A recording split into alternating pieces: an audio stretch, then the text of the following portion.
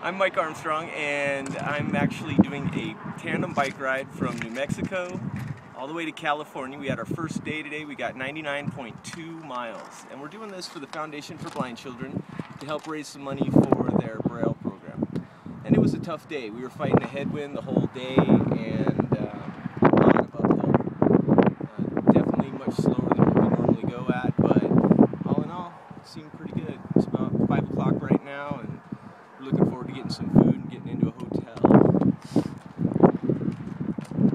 P.S. I'm blind. Oh, and I'm totally blind.